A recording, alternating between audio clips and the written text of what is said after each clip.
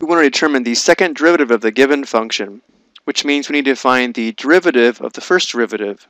So to determine the first derivative of the given function, we need to recognize that this is a composite function, so we'll have to apply the extended power rule that includes the chain rule.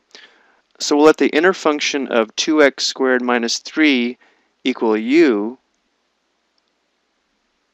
So now we can rewrite the function in terms of u as u to the fourth.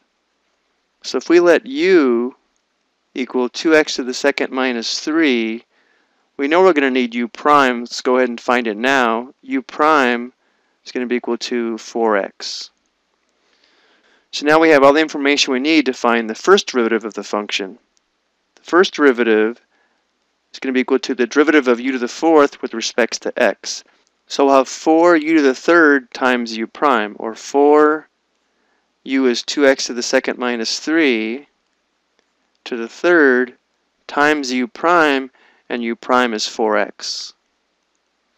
So to clean this up, the first derivative would be equal to 16x times the quantity 2x squared minus 3 raised to the third power. But remember, our goal is to determine the second derivative. So we want to find the derivative of this function here. And notice how now we have a product of two functions. So we'll have to apply the product rule so we'll let the first function equal f and the second function equal g.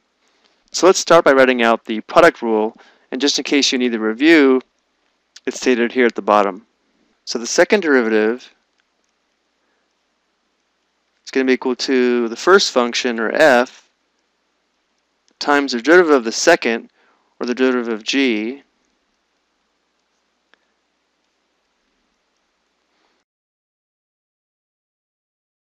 And notice to find the derivative of this part, we'll have to apply the extended power rule, which includes the chain rule again, plus the second function, or g,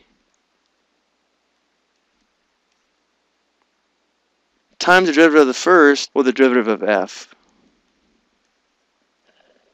Now let's focus on determining the derivative here and the derivative here. And then we'll see what we have left. So f double prime of x is equal to 16x. Now times the derivative of the quantity 2x to the second minus 3 to the third. Again, we have to apply the extended power rule here where u is going to be equal to 2x to the second minus 3. So you can think of this as u to the third, so we'd have times 3 u to the second times u prime, where u is 2x to the second minus 3, and u prime would be 4x plus the quantity 2x squared minus 3 to the third times the derivative of 16x, which would just be 16. Now we're going to simplify this function, and the first thing we're going to do is factor out the greatest common factor of this product and this product. So notice how we have a common factor of 16 as well as two factors of 2x to the second minus 3. So we're going to factor out 16 as well as two factors of x squared minus 3. Let's see what's left. Here we'd be left with x times 3 times 4x, that's 12x squared, plus here we're factoring out the 16, but we still have one factor of 2x squared minus 3.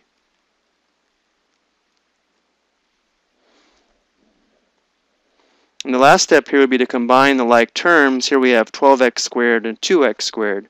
So our second derivative is going to be equal to 16 times the quantity 2x squared minus 3 to the second times 14x squared minus 3. This would be our second derivative function. So I hope you found this helpful.